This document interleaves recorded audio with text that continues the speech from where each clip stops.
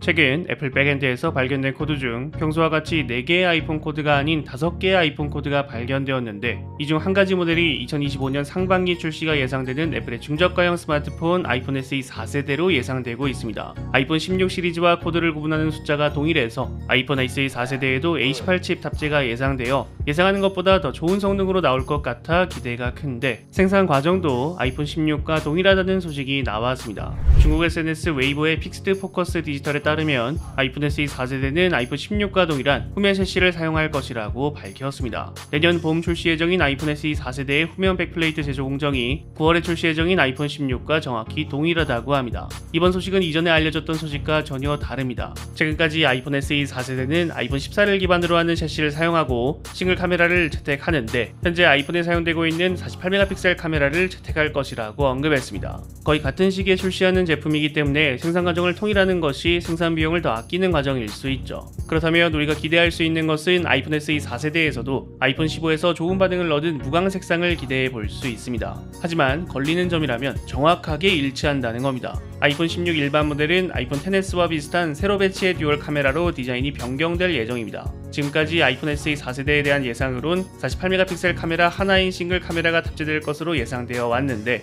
완전히 동일한 backplate라면 아이폰 SE 4세대도 변경된 디자인에 dual 카메라가 들어갈 수 있다는 의미로 볼 수 있거든요. 아이폰 16과 동일하게 비전 프로의 공간 비디오 촬영을 지원하기 위하여 dual 카메라로 계획을 변경한 것인지 아직까지는 확인된 바가 없다고 합니다. 현재 아이폰 SE 4세대의 타겟 가격은 500달러 미만이라고 합니다. 4.7인치에서 6.1인치로 크기가 커지고 홈 버튼과 터치 아이디가 제거되고 노치 디스플레이가 적용되어 페이스 아이디를 지원할 것으로 예상되며 아이폰 15에 탑재된 USB-C 충전 포트와 좌측 측면 상단 액션 버튼이 적용될 것으로 예상되고 있습니다. 이번 소식대로 dual 카메라가 탑재된다 했을 때 다이나믹 아일랜드를 포함해 디테일한 면들의 크게 기대가 없으신다면 A18 칩의 성능과 메인 카메라 품질 그리고 총알화 카메라의 지원 등 굉장히 가성비가 뛰어난 제품의 출시를 기대해 볼 수 있습니다. 과연 우리의 바람대로 A18 칩과 세로 배열 dual 카메라가 탑재될 수 있을지 기대가 됩니다. 여러분들이 생각하시는 아이폰 SE 4세대에 대해서 댓글을 남겨주시면 감사드리겠습니다. 시청해주셔서 감사합니다. 지금까지 알비였습니다.